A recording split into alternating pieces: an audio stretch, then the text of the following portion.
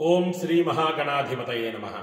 చాలామంది అడుగుతున్నారు వినాయక చవితి ఎప్పుడు చేసుకోవాలి అమెరికాలో అని. వినాయక చవితి అమెరికాలో ఆగస్టు ముప్పయో తారీఖున పొద్దున పూట ఆరు గంటల నుంచి మొదలుకొని ఆ తర్వాత రోజు పొద్దున పూట ఆరు గంటల వరకు మాత్రమే అమెరికాలో ఉన్నదన్నమాట.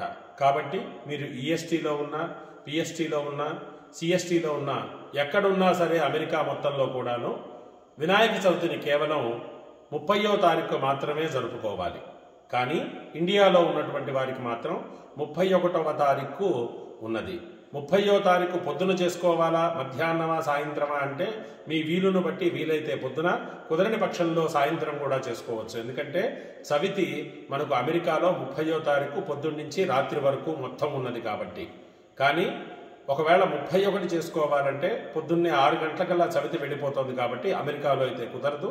ఇండియాలో ఉన్నటువంటి వారు తమ తమ లోకల్లో ఉన్నటువంటి క్యాలెండర్ ప్రకారంగా పొద్దున ఉంటే పొద్దున సాయంత్రం ఉంటే సాయంత్రం చేసుకోవచ్చు. మంగళం మహతు.